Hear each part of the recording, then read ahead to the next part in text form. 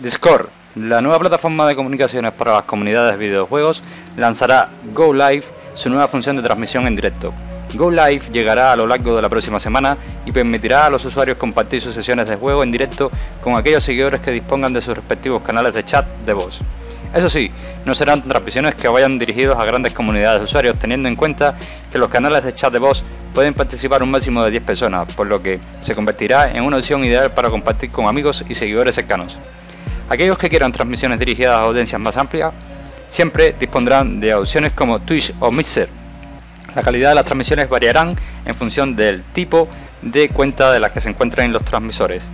En este sentido, además de que las transmisiones tendrán latencia cero, aquellos que estén bajo las suscripciones Nitro Classic podrán transmitir en una resolución máxima de hasta 1080 píxeles Full HD, mientras que aquellos que estén en una suscripción Nitro podrán transmitir en una resolución máxima de 4K a 600 frames por segundo, FPS.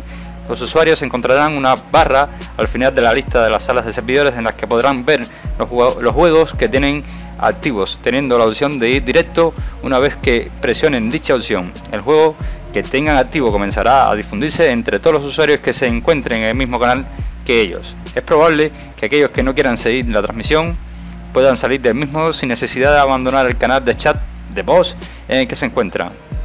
Esto es todo con una nueva noticia del mundo de Discord. Go Live. Hasta luego.